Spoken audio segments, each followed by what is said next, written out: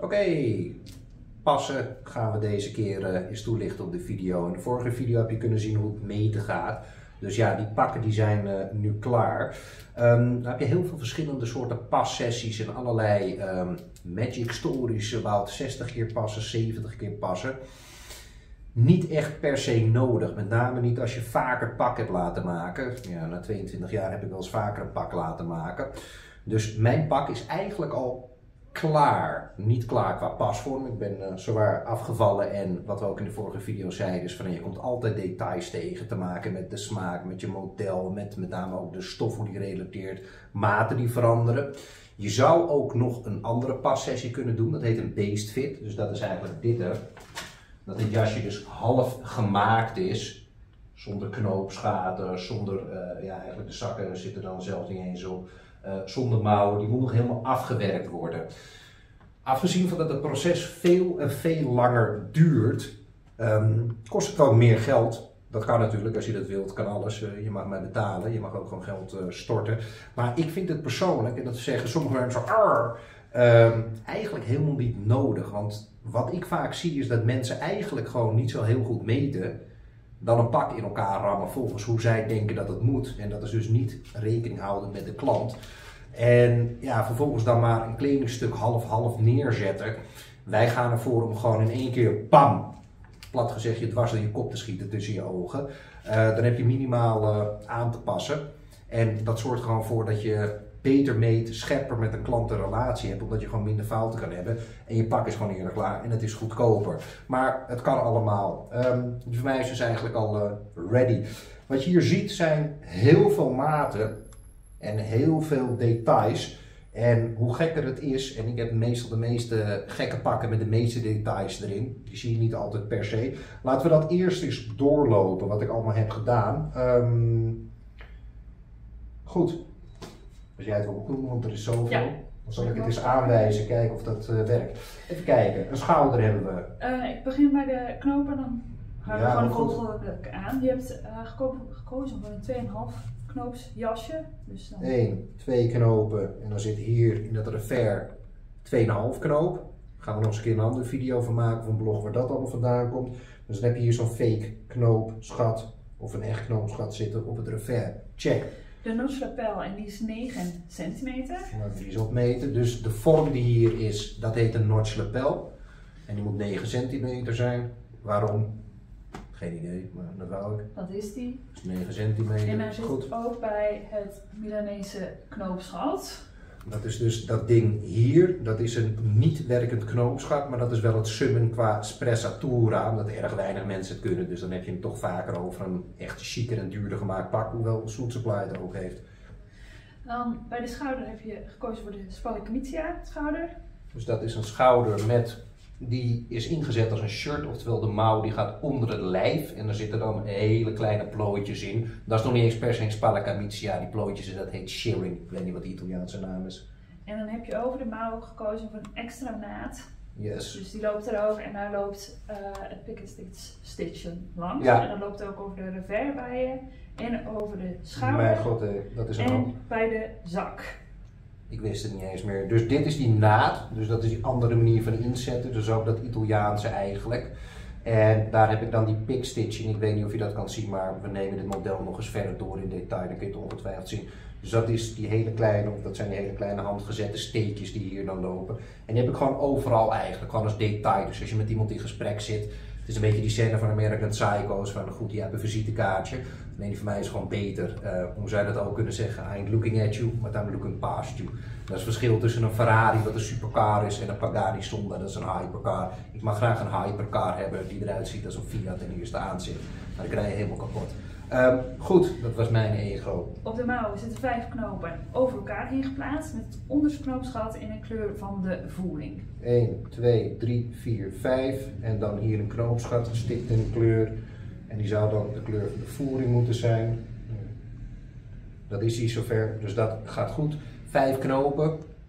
Ik weet niet of ik dat nog moet doen, maar ik heb nu drie pakken met vijf knopen besteld. Dus dat is wel handig om je daarin aan de basics te houden. Achter heb je twee, uh, zeg maar een dubbele split. Dubbele split. Dit is een dubbele. Hierachter heb ik een enkele, believe me, maar hier een dubbele. En eh, aan de binnenkant, het jasje is full canvas gemaakt, maar dan heb je gewoon de twee uh, borstzakken zitten. Ja, Eh, borstzakken. Mensen die doen er altijd erg moeilijk over. Ik hou van simpel. Hier heb je een zak en hier heb je een andere zak. yes. En eens even kijken. Ah, kijk eens. Ze hebben zelfs zo'n speciaal logo erin. Dat is ongelooflijk. Ehm, en dan de voornog natuurlijk de zakken, dat zijn dan gewoon de trapzakken met eh, ook het, Met eh, het eh, stiksel erop. Ja. Oké, dus zover qua model klopt het. Die nek is dan ook op een speciale manier geconstrueerd. Alleen dat heeft te maken met de binnenkant. Ik wil dat alles echt traditioneel gemaakt is. Maar zo gauw we dit pak eh, uit hebben, klaar hebben, dan gaan we nog eens even detail eh, doornemen. En dan kun je alles veel beter zien. Oké, en een gilet. Ja, mag je het jasje uit doen, mensen het ook goed kunnen zien. Ja. Die aan jou. Gillette, dat zag je al in die eh meetvideo. eh voorbeeld erbij gepakt. Die moest 30 centimeter diep zijn. Nou, dat is hij volgens mij. Dat kunnen we ook gelijk checken. Dus hier eigenlijk geen refer, maar een soort van band die erop zit. Een Waarom? sjaal, eh, Een sjaal heet het blijkbaar. daar loopt ook het pik en steeds, steeds zo, stiksel overheen. Is dat zo? Ja. En ook bij de zakken, als het goed is. En ook bij de zakken. Ja, zit het En ook. Kijk eens. Ehm, het is dubbel breasted met de zes knopen en, En- volgens mij Specialty of the house, voorstof en achterstof. achterstof. En dan kun je dit veel makkelijker losdragen. Deze moeten we sowieso aan gaan passen. En het wonderlijke is dat ik afgevallen ben. Gaan we naar die broek toe. We Ja. hebben natuurlijk vorige keer al toegelicht ook. Van die broek is nu veel te lang uiteraard. Hoewel sommige mensen in Engeland zouden zeggen zo hoort het. Ik ben net te gek. Eh, dat heeft te maken met die omslag. Dus we gaan er zo meteen inkorten naar hoe ik hem echt wil. En dit zijn veterschoenen. Die heb ik normaliter niet aan. Dus we moeten even kijken of ik dat ook met deze schoenen doe. Of toch weer andere ga doen. En wat heb ik nog meer met die broek? Je hebt een fishtail op de achterkant. Fishtail op de achterkant. Dat is dus dit, die En dan heb je dus omhoog ook-. Twee zakken achter op de beel. Twee kontzakken. Op de band heb je de bukkel zitten. Op de band heb ik een bukkel zitten. Dat is de gesp die hier zit. En dan kunnen de mensen ook gelijk zien dat je de zak aan de zijkant wat eronder hebt laten snijden. Normaal loopt hij dus wat rechter. Ja. Dus hier is hij wat gecurveder. En dat zijn, ja, maakt je pak niet beter. Maar dat is natuurlijk wel waar het om gaat met maatwerk. Dat je echte details erin kan gooien die echt uniek zijn. Dus dat wou ik. En ja, het heeft geen enkel nut. Maar bij deze wou ik dat. Voor heb je een knoopsluiting. Ja, die is hier. Ja. En eh, de broek is met een omslag gemaakt. Met een omslag. En mijn specialty is, ik heb altijd in mijn broeken, misschien een beetje lomp, ik heb nooit een gewone voering in mijn broek. Sowieso hou ik niet van gevoerde broeken, maar dus het beleg aan de binnenkant. Ik heb altijd katoen erin. En het liefst een monnikspij van een Aziatische, boeddhistische monnik. Believe me, die hebben nogal wat kleuren. Dat is een soort van fetish die ik heb, dat ik dat aan de binnenkant doe. Ehm, ja, gaat hem niet beter maken, maar wel persoonlijker en daar gaat het om. Wat ik al zei is dus, ik ben ah, zowaar afgevallen, blijkbaar. Dus dat pak is die groot, dus die moeten we eens eventjes eh, gaan innemen. En laten we eens in deze video doornemen hoe dat gaat. Eh, beginnen we met het, eh, Met het alles? Ja. ja. Ja, want de vraag is dus ook, gelijk, ik denk van veel mensen, als je twee of drie delen draagt. Kijk, als ik dat gilet eronder heb, heb ik een extra laag. Ja. Dus kan hij minder strak. Mhm. Ik denk dat ik die jas, heel eerlijk, als ik dat gilet draag, nooit gesloten ga dragen. Ga je hem zonder het vest wel gesloten dragen? Ja, dan denk ik wel. Aan de andere kant, ik draag zoals je weet nooit eigenlijk uh, mijn Colbert's. Daarom uh, hangen ze hier uh, in die showroom.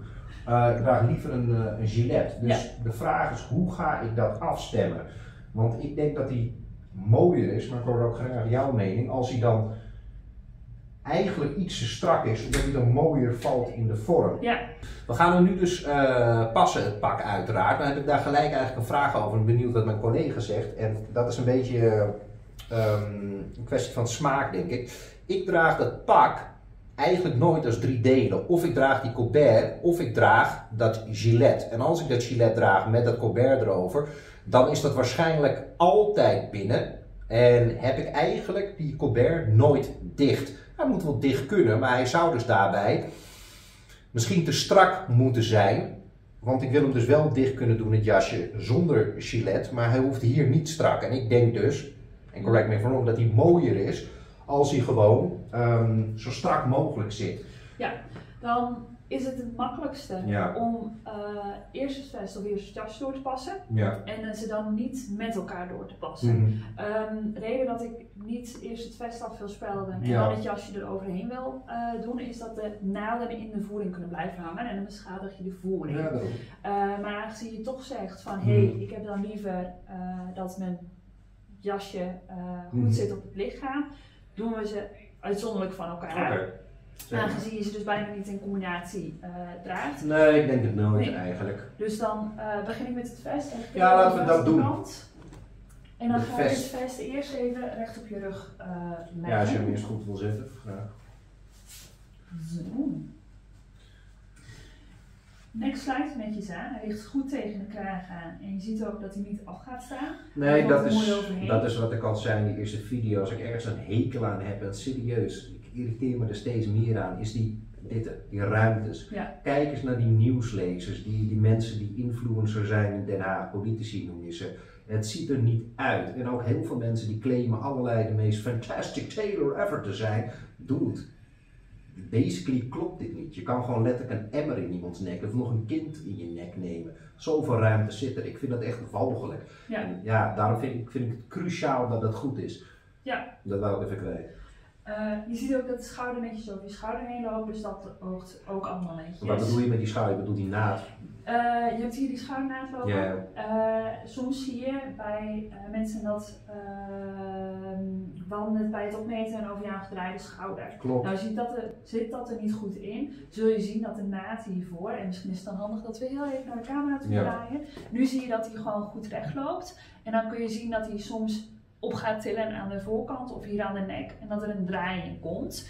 Eh, dus daarin check je van, hey, zit hij daar goed? Daarvoor En- dus die foto's Ja. die gemaakt zijn. Oké, eh, en je ziet dat het goed uitgevallen is. Eh je hebt de knoop aan de binnenkant ook dicht zitten volgens mij. Ehm zullen we het even checken? Ja, knoop aan de Ja. binnenkant zit dicht. Kom ik heel even, want hij wordt ingenomen natuurlijk. Heel even voelen Ja, en kijken wat het mooiste is. Want je hebt natuurlijk hier de naam aan de zijkant. Maar je hebt ze hier ook over de rug lopen. Met hoe groot hij het is, denk ik dat het gewoon het mooiste is voor jou om ze via de zijnaad te pakken. ja, mijn doel is, hij mag zo strak mogelijk. Ja. En ik hoop dan dat zeg maar, de middensectie ook nog slanker wordt. En die zou je ook daarna nog kunnen verkleinen, lijkt mij. Ja, ja. en dat is het mooiste om niet gelijk te strak te doen, anders Nee, nee, kun je er niet in zitten. Eh, en dat is niet mooi in de breasted. Uh, lengte is in ieder geval wel goed, want die wil ik precies waar die broek eh ja, je ook zo opgemeten. af. Nou, Dat valt hij wel. mee. Ja, ik kan ietsje, Ja. ietsje, maar Ja, en als hij nu, zeg maar, nu zit hij op de goede hoogte, nu valt hij precies. Ja, oké. Dus ook, mooi. mag je hand even optillen als je hem valt. Ja.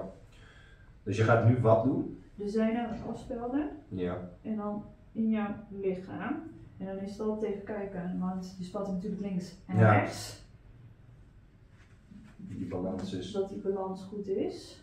En ik pak er zo ook even een stoel voor je bij. Want belangrijk is natuurlijk ook als je gaat zitten, verdeelt je lichaam zich anders. Mhm. Dat als je gaat zitten, dat je dat nog comfortabel kan doen. Dat is eh, wel een punt. Aan de andere kant ben ik iemand die me niet snel stoort. Ehm, vraag. Ja, Je hebt de voorkant. ja, Nu valt hij mooi recht naar beneden toe. ja. Wil je dat aanhouden of zeg je van nee, ik wil dat hij een beetje met mijn buik meecurft?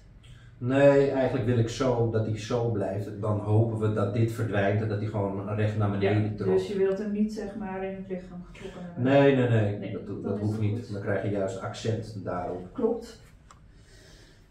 Kom voor je staan. Ja. Mag je die nu even? Yes. Dat kan ik erbij doen. Kom.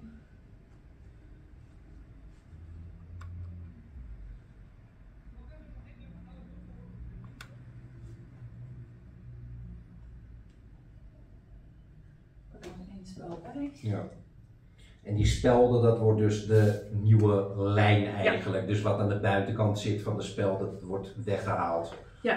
Oké. Kom je daar even nog bij voelen? Ja. Hij kan volgens mij nog ietsje strakker in je tij, volgens mij. Mm, ja, hij kan strakker. Ja. De vraag is of dat mooi is, want als je hem hier heel Nou, strak doet, dan gaat natuurlijk je- buik groter worden. Eh, naar de zijkant toe draaien, dan ga ik Ja. het laten zien. Zeg maar, ik heb hem nu eerst hier strak getrokken. Ja, nu dat zie je dat hij gewoon goed in de, eh, Mhm. bij, zeg maar bij de buik en bij de zijnaad loopt. Maar je hebt hier op de rug, in die curve, heb je ook nog wat ruimte. Dus ik ga hem ook bij de naden die hier lopen inpakken. Dan blijft de voorkant hetzelfde, maar dan ga je zien dat hij Ja, mooier dat in je rug Dat loopt. is, dat is belangrijk. de curve erin zit.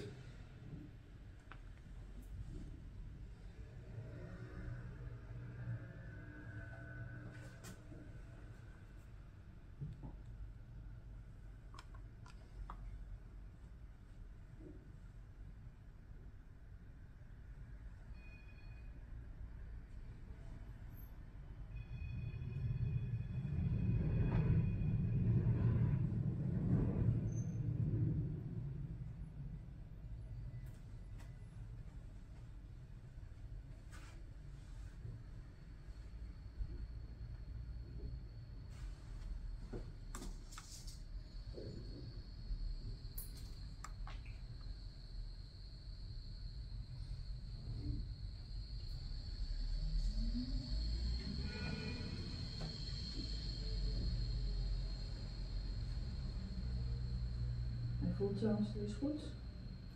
Ja, het voelt eh, voor de rest wel comfortabel. Kijk, die stof gaat natuurlijk altijd ook wat oprekken. En ja, je moet op een gegeven moment gewoon doen. En als je maten veranderen, dat ehm, give and take is, hè? Van look and feel. Als je nu ook aan de zijkant in de spiegel zit kijkt, Ja, zie je dat hij gewoon mooi met je rug meeloopt. ja dat ziet er En dat veel beter uit. Eh, voor niet per se strakker. En die, eh, die strap achter in die bukkel, Ja. is die, ja, die die hebben lijkt we nu net lang. Eh, wat losser Ja, ik hem Is Zo die gewoon netjes? Hij wordt met dat hij ingenomen wordt, wordt hij ook gecorrigeerd. Dus die wordt ook iets ingenomen. Ja, want hij steekt nu erg uit. Hè? Ja, maar we hebben hier natuurlijk, nou, ik denk aan Mhm. allebei de kanten een pink weggespeld. Ja. En dat wordt de bukkel zo meteen ook ingenomen, Mhm. want die wordt natuurlijk dan ook smaller.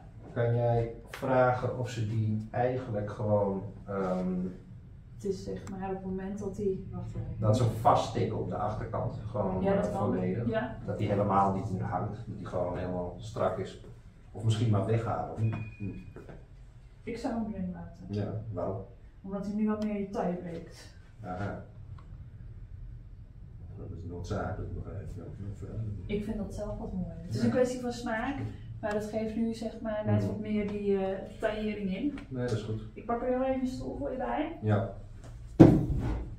Mm. Dus zitten, oké. En dan belangrijk dat als je zit, dat hij ook nog gewoon goed voelt. Ja, kijk, sowieso heb je natuurlijk omdat het model lager is, dat hij toch altijd open gaat staan. Ja, dat dat zou je je- altijd houden. Hoe lager de kruising is, hoe meer je dat hebt. Ja, anders moet je je, je rits helemaal dicht doen. Nee, dat is gewoon goed. Dus het is echt niet middensectie meer. Dus daar moet je weer wat anders voor doen. Die anders zou eh, moeten meer, dat is meer het eigen lichaam. Oké, helder. Dan eh, gaan we deze doen. Lengte ziet er voor de rest Ja, netjes en uit. toen zei je net al, heb je verder nog andere punten die Nee. je voelt? Armschat voelt gewoon goed voor je. Ja, Ja. dat is bekend. Mag je het vest voor mij doen? Ga ik je het jasje aandoen. uitdoen.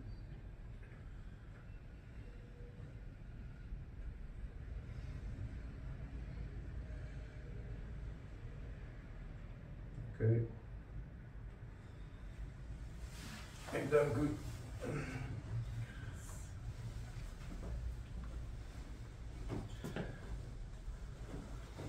Ja, die jas die kan dus in principe ook zo strak mogelijk. En of hij dan nog dicht kan zoals het hoort met dat gilet, ja, Ja. hm, vind ik minder relevant. Mag je de rosknop doen? Ja. Pak hem heel even. Wacht dan even tot je je mouwen goed hebt. We goed zetten. Pak deze ook even recht op je rug. Mag je handen even ontspannen laten hangen.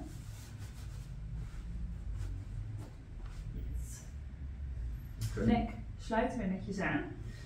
Ehm, Ja, Ja. dat is in principe. En dan gelijk even, want dat is het wat ik net al zei, vele mensen lopen te etteren. Kijk, en ook als je dus beweegt, zie je dat die nek gewoon voeft. Nou, alsof die vacuüm gecleand is. Dus gewoon eraan vastgeplakt zit, blijft. En dat is iets wat je zelden ziet eigenlijk. En ja, dat is wel wat ik echt voor mezelf en voor klanten echt belangrijk vind. En anders draag ik het gewoon niet. Ehm, goed, dat lijkt Ja. me een missie geslaagd zover. je ziet dat jouw schouder weer net iets veranderd is. Dus je Klopt. krijgt net aan deze kant krijg je net een beetje een golf erin. Ja. Eh, dus ik vouw heel even de kraag omhoog. Ja, de vraag is natuurlijk. Wil je hem aanpassen? Nou ja, je wilt hem zo mooi mogelijk. En die issue is dat ik over een kwartier weer anders kan staan. Ik zou het wel doen bij deze. Waarom? Ehm, aangezien, ik ga, hm, kan ik, als je naar de zijkant toe draait, Ja. dat je hem zelf ook kan zien. Ja, ik zie hem Je daar die nek in. En echt hier Ja, in zitten. En aangezien die vanaf hier begint ja. en naar voren toe trekt, zal die hier minder invloed hebben. Dus valt er Ja, iets anders. Ja, het lijkt of die schouder wel wat beter staat. Mhm. Maar als je hem opmeet met een gebeuren, dan eh, wordt hij ook zo gemaakt. hè. Oké. Dit kun je trouwens ook zien in een andere video van ons. Hoe hoort een pak te passen, die volgens mij. Dat is echt een issue die ik heb. Mijn schouder die verandert afgezien eh, hoe lang ik net bij FedEx in de wacht heb moeten staan.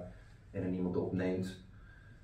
Verandert die blijkbaar. eh, Met dat je hier wat inneemt, zie je ook gelijk dat hij veel mooier al over de rug heen valt. Dus Ja. dan zit hij gewoon in zijn geheel net wat mooier. Dat zie ik niet, maar normaliter doen we dat dus met een camera of eh, achter in de pasruimte heb je nog veel meer spiegels. Dan kun je dat zelf zien, want die achterkant moet ook gewoon netjes zijn. Ehm, schouder. Zit netjes op de schouderbond. Dat Ja, die is goed. Kijk, wat je hier hebt, is je hebt die spalla camicia maar minimaal. En het pak, wat ik al zei, die draag ik toch open. Dus hij mag iets meer die Italiaanse stijl zijn. Iets, iets frivoler eigenlijk. Qua, qua, qua dragen, qua dreep. Dus dat is, eh, dat is goed. Super. Oké. Dan zie je hier ook qua taillering dat je ook weer dat hij net iets strakker maag heeft. Ja. Met een beetje ruim in de taille. Ja, hij is een beetje gewoon eh, recht naar beneden. Zo, dus laten we daar eens wat meer vorm in gooien. Is natuurlijk wel de vraag bij iedereen. Kijk, als je heel sportief gebouwd bent, kun je meer taaien dan je gooit wanneer je 200 kilo weegt. Daar moet je wel realistisch in, eh, in zijn. En waar je ook rekening mee moet houden met veel sporters, is die Ja. hebben een bredere schouder, een smallere taille. Ja, Hoe groter dat contrast is, hoe meer je die eh, knoop in het knoopsgat gaat zien hangen. juist. Heb je dus een lichtere stof, kan het zijn dat als, ook al ben je gespierd, het mooier is om die taille wat Toch wat minder ruimer, omdat er minder spanning komt eh, Ja. te zitten. Oké. Helder. Ja, doe deze maar zo strak mogelijk. Mag je handen even hangen? Ja. Ja.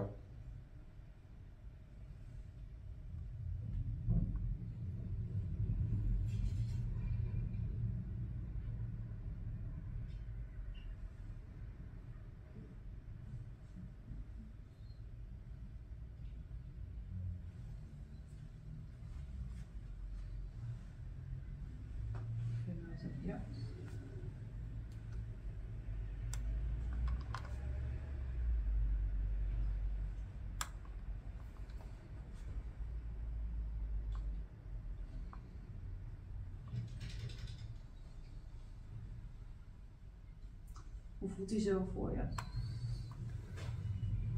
Ja, hij- er is nog ruimte om te bewegen. Hij zou nog in principe strakker kunnen. Alleen, ik denk dat je dan hem eh, Ga ik, hier te hem, strak dat dit te groot wordt. nou, dan ga ik hem strakker trekken, dat kan ik je ook laten zien. En dan Ja. draai ik heel even naar de, eh, camera toe, dat ze dat Ja. daar ook voor zien. Pak ik hem hier vast, Ja, gaat hij omhoog trekken. ja daarom. Dat is... En dan heb je ook, als je nog iets verder doordraait naar de camera, je hebt nu dat hij nog mooi valt. Ja, Pak je dat strak, gaat hij openstaan. ja daarom. Oké. En dan ga je weer problemen, tenminste vormen creëren Ja. wat minder mooi is in het pak. Daarom, oké. Nou goed. Ehm, bicep onderarm, kapbeweging, voelt goed. Ja, voor mij voelt dat gewoon goed. Ik ben gewend aan eh, strakke armen. En je ziet dan alleen, we hebben hem natuurlijk nu dus wat langer opgemeten, dus net over die muis. Ja. En dat overhemd wat ik hieronder heb, die, Is wat korter. nou dat nog niet eens, maar ik denk dat dat ding, ik was altijd op gigantisch hoog, ik doe daar niet aan, aan eh, wat je tegen klanten zegt. Dus dat overhemd is een beetje gekrompen. Aan Ja. de andere kant, Normaal valt je overhemd. ja, ja zeker, daar. don't worry. Dat, eh, dus qua mouwlengte vind ik dat goed, want ik heb ook Ja. op het lichaam gedaan. Het hemd is eh, niet de beste om hiermee te dragen. Maar Ja. Klaar. Lengte van het jasje ook naar wens. Ja, die lengte is goed, hoewel even we die eerst die broek nog ook eh, dubbel moeten checken. Ja. Dus laten we die eerst eh, even doen. En eerst even die hoogte goed bepalen. Ik heb hem nu met die bukkels wat strak gezet, maar hij moet natuurlijk gewoon sowieso goed zitten. Mag je het jasje even even Ja. Wat doen?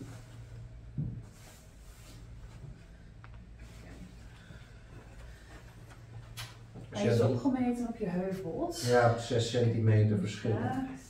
Dus Checken. even kijken of het dan zo is.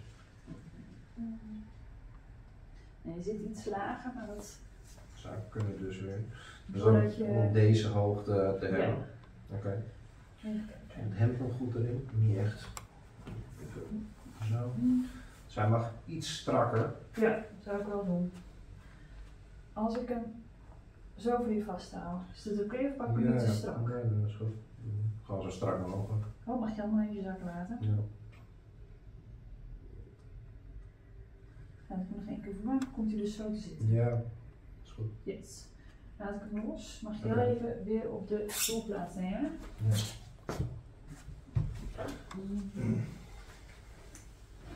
Belangrijk bij het zitten dat je dus voldoende ruimte hebt bij de heupen, het kruis en de bovenbenen. Ja, dat is zo. Dat is niet de issue. Ik denk dat het om gaat is dat we die broek de hele vorm veranderen door eh, die lengte goed te doen. Absoluut. Ja. Oké, laten we dat eerst doen en dan kijken we nog wel even of je eventueel strakker zou kunnen moeten. Daarvoor heb je natuurlijk nog volgende keer een passessie om alle dingen te bekijken. En dan kun je nog verder. eh, Lengte mag op de schoen. Ja, dus volgens mij is het gewoon die omslag naar- Mag, hij mag wel wat langer dan dat ik hem normaliter heb. Oké. Maar. Even kijken.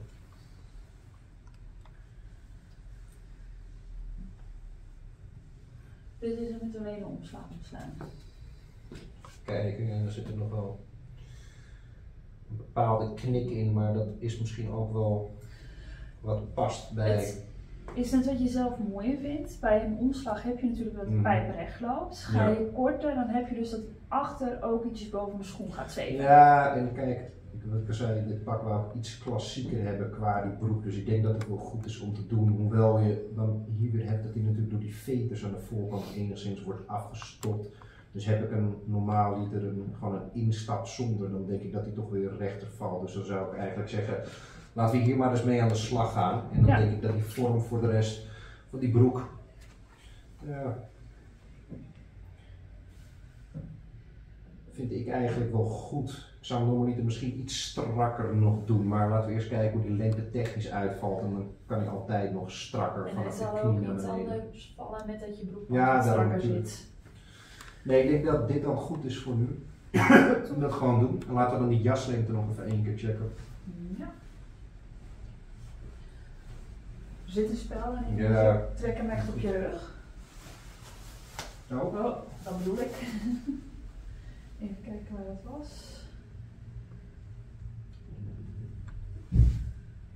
Zit nog goed? Ja. Oké, top. En de voorzijde is in ieder geval mooi recht en in balans. En ja, net boven het kruis, zoals ik hem altijd graag heb. En hier dan net boven de kont.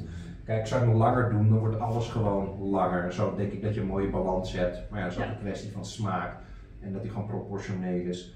Oké, ik zou zeggen, eh, laten we dit gaan doen. En volgende keer even kijken of alles in één keer goed is. Of dat er toch nog iets aangepast eh, moet worden. Oké. Dus ja, dit was dan een voorbeeld van een fit, hè, een passessie. Dat is heel belangrijk. En wat je dus ziet, je moet alles doornemen. Nou, heb ik daar veel ervaring mee in EMI ook. Dus dat is erg afhankelijk ook van ja, wat je tegenkomt. Met sommige klanten is het gewoon ietsje strakker, ietsje losser. En bij sommige mensen ben je letterlijk drie uur bezig omdat ze allerlei vragen en wensen hebben. Ja, dat kan natuurlijk altijd. Dus dat is voor iedereen heel persoonlijk. Maar je hebt denk ik in deze video gezien dat er toch nog behoorlijk wat tijd en aandacht in gaat. En een pak is nooit in één keer goed. Eigenlijk hoe meer je met maatwerk aan de slag gaat, hoe meer kennis je hebt, hoe kritisch je wordt, hoe minder goed een pak is. Klinkt een beetje raar natuurlijk, maar je ontdekt steeds meer mogelijkheden. Hoe een model zich relateert naar hoe het valt, hoe stof zich daaraan relateert, vice versa, et cetera, et cetera, et cetera. Dus passen is een zeer belangrijk moment en dat hou je natuurlijk ook allemaal bij je aanpassingen op je maatformulier, zodat je elke keer weer vanuit die verbeteringen eh, ja, verder kan gaan verbeteren. Eh, in de volgende video gaan we het eindresultaat bekijken en natuurlijk ook nog eh, de video ehm, doornemen waarin we het hele model verder bespreken, alle details toelichten. Dankjewel voor je aandacht, Mazzel.